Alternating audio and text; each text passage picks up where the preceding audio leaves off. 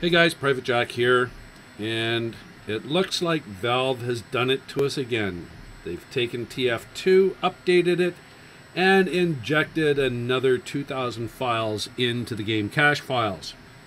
This is the Halloween 2020 stuff, guys. So in this session, what we're going to do is we're going to look at the proper way of extracting the game cache files to get it to work in Source Filmmaker. So I'm going to use two programs here. You can choose which one you want to use. I'm going to use GCFscape and I'm going to use Crowbar.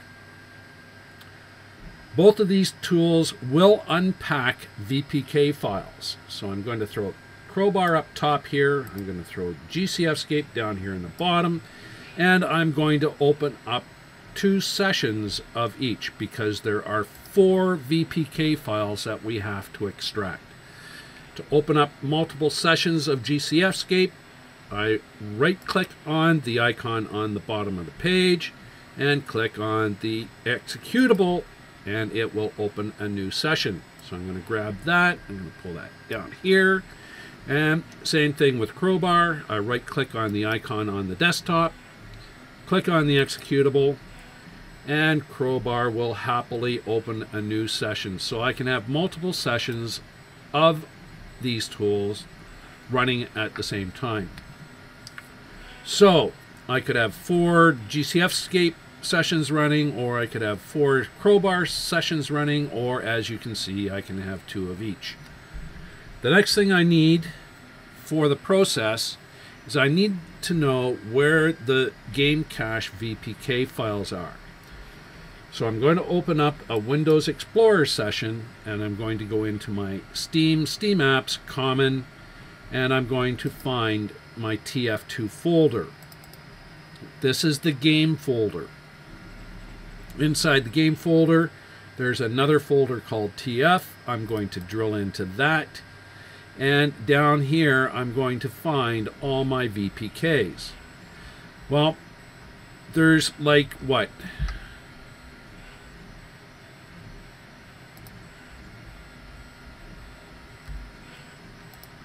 132 VPK files in this particular game. Which one do I need? Well, I'm going to come here into the search now. I'm going to type in here star underscore dir dot VPK. VPK files are like split up RAR files. They're compressed files that span over multiple volumes of files. Okay? The dir file is the header file for the library. And it's the dir file that we want to open in these two programs. So I'm going to extract textures using the crowbar session up here. I'm going to extract the dir, uh, the MISC-dir down here in the GCFscape. I'm going to extract the sound miss up here in Crowbar and the sound VO down here in this session of GCFscape. So how do I load these things up? First off in Crowbar I have to select the Unpack tab and then all I have to do is grab a hold of the dir file that I want to extract pull it up here and drop it into the package information.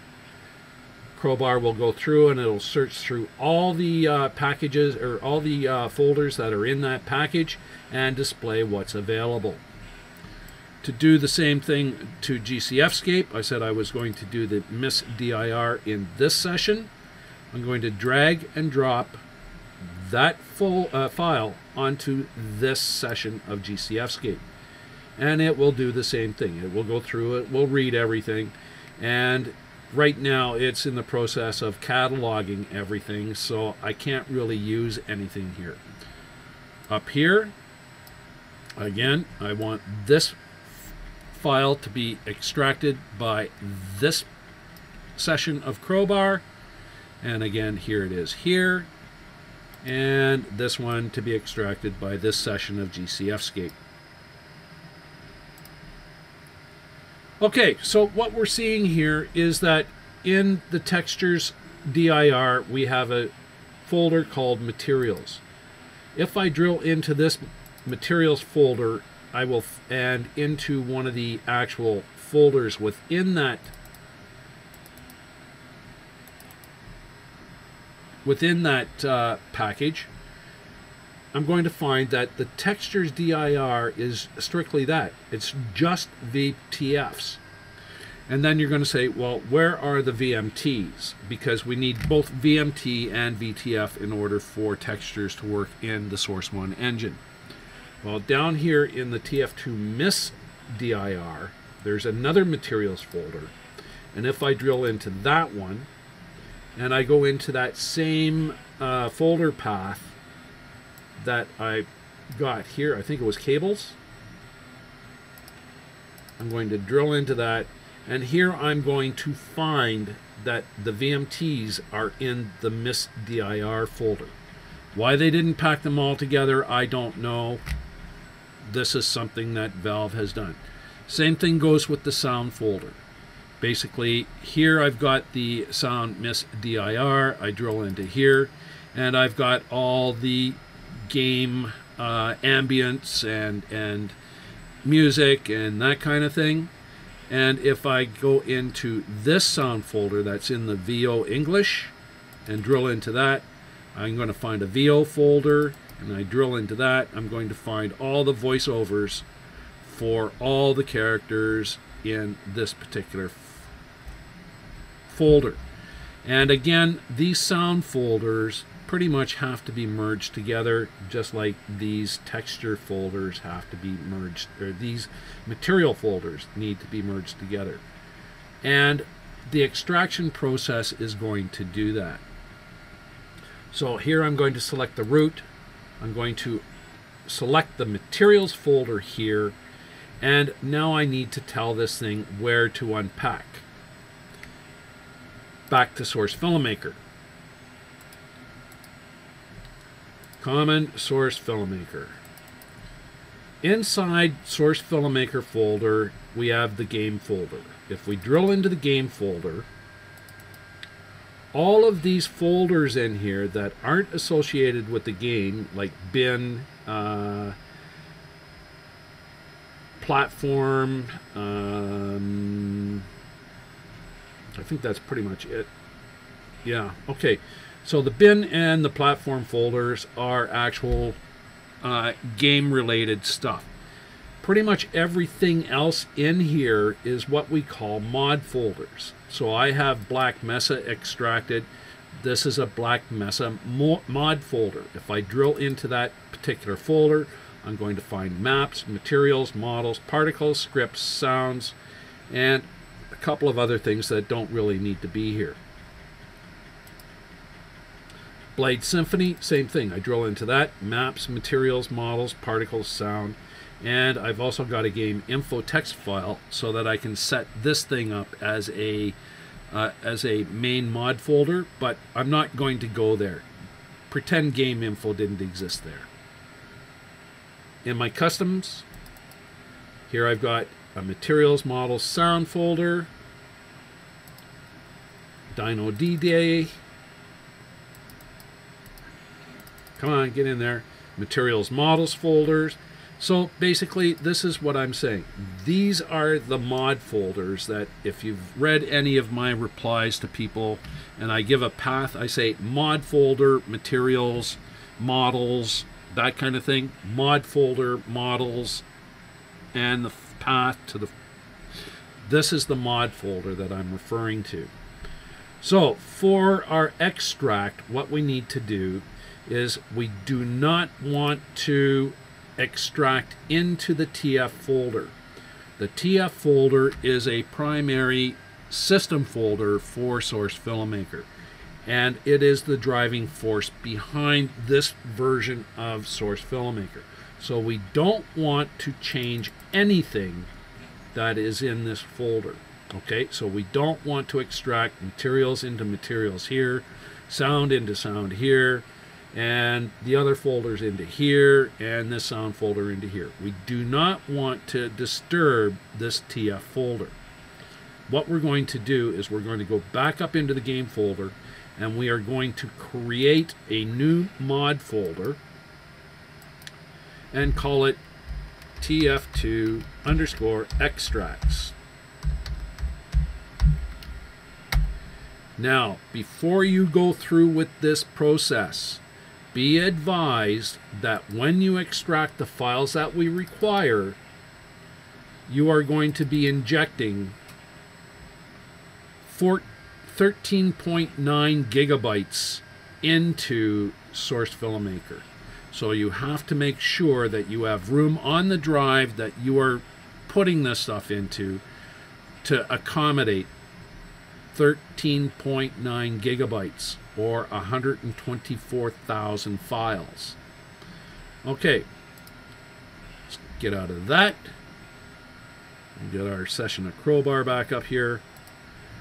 And now to extract, what I'm going to do is I'm going to click on this browse button and I'm going to surf to my source Filmmaker folder, go into the game folder, and find that extract folders that I just set up. I'm going to select it and say open. So now what I do is all I have to do is hit the unpack button. And this is going to whirl around for a little bit before it starts. Same thing here. I'm going to, I can actually just take, uh, too late. I should have just taken it, copied this, and pasted it in here, but we'll do it the hard way. We'll go browse, source filmmaker, game, and TF2 extracts. As we can see, the materials folder has been created and this stuff is going in there. Okay, so I hit open and I hit the unpack button and away it goes. So it is now creating a sound folder. Now, if you're using GCFscape, it's a little bit different. Here I'm going to select the root. I'm going to minimize this folder.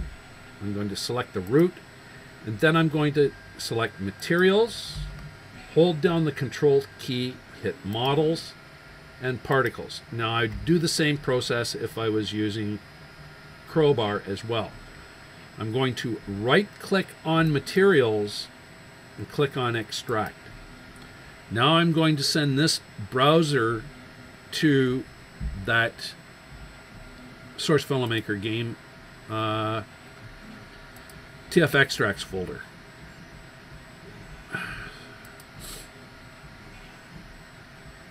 Steam, Steam apps, common, source Filmmaker,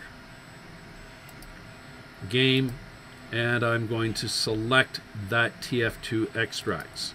I'm not going to select any of these in here. I'm just going to select that main folder, the mod folder.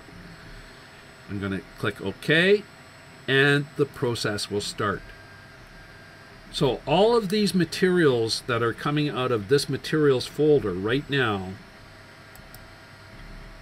are going into this folder. So if I come in here now and have a look, not only am I going to find that I have the VMTs or the VTFs from this folder, I also have the VMTs from this folder.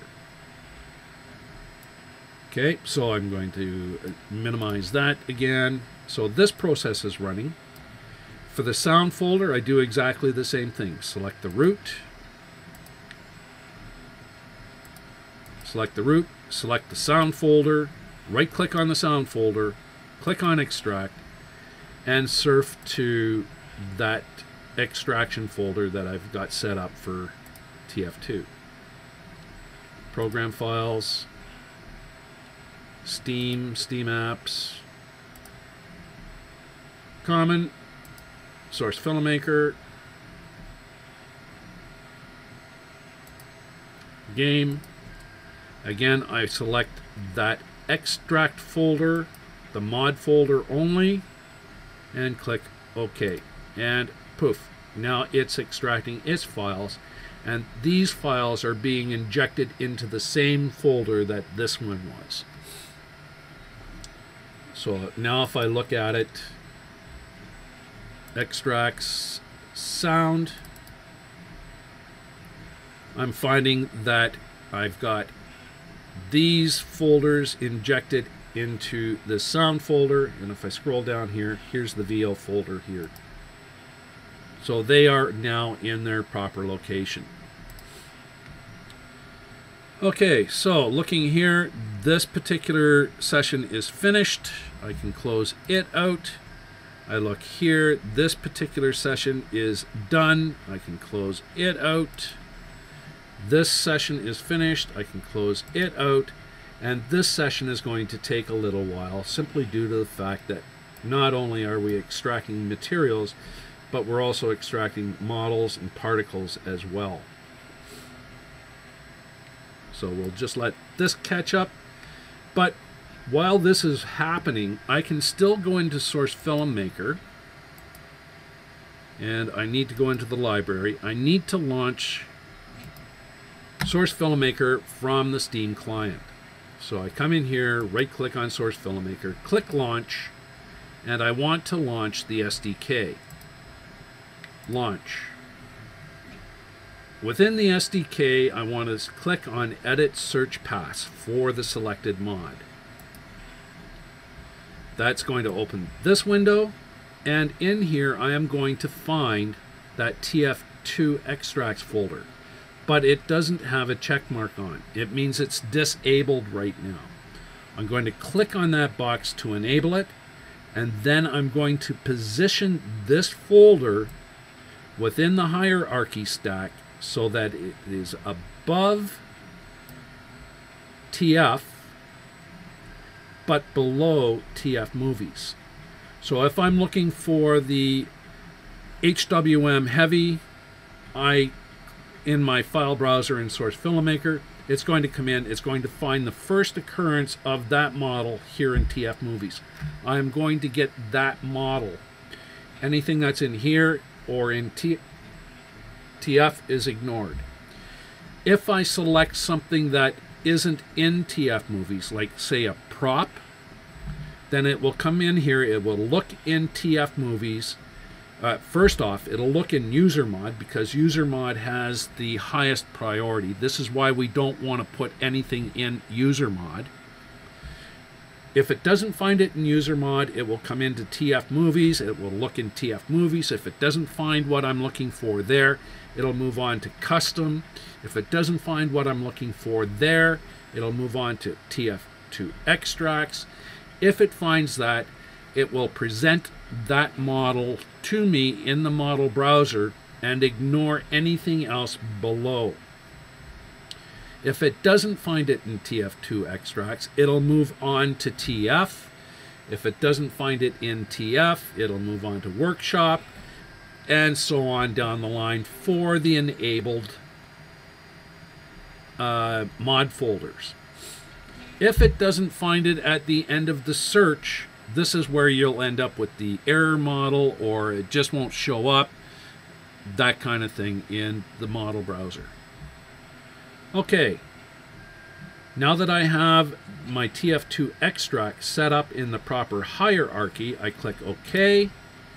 I can launch Source FilmMaker, and if I bet I bet if I look here now at my GCFscape, I'll find that it's finished, done.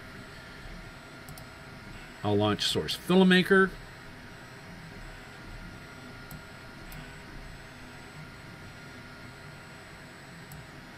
I wish there was a minimize button on this.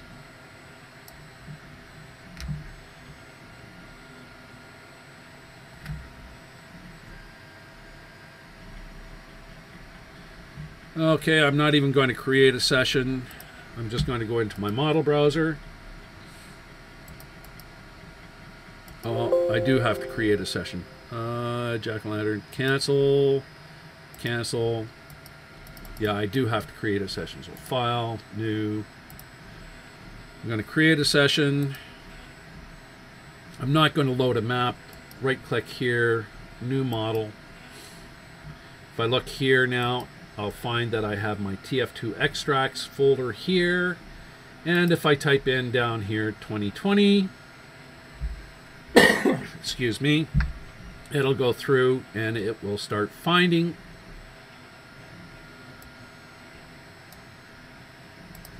all the stuff that was uploaded for the community Halloween items. And there you go. We now have them available in Source Filmmaker. We have all the items that are in the TF inventory in Source Filmmaker ready to rock and roll. Now, if you want to do this for any other Source 1 game, then it's the exact same process. Find the VPK that has the materials, models, particles, and sound folders in them. Create a new, uh, load them up, load that VPK DIR up into GCFscape or Crowbar. Create a new mod folder in Source Filmmaker extract the files into that mod folder, turn it on it through the SDK search uh, path for existing mod, and bingo, you've got that game in there. That's how I've got my Gmod stuff in here. I've got my Uh, don't have much in here right now, do I? No. Got it all turned off, but my customs folder is here. And that kind of thing. So basically that's it for this particular video. Hope you have fun. Happy SFMing and enjoy the Halloween 2020 stuff. With that, I say Private Jack out.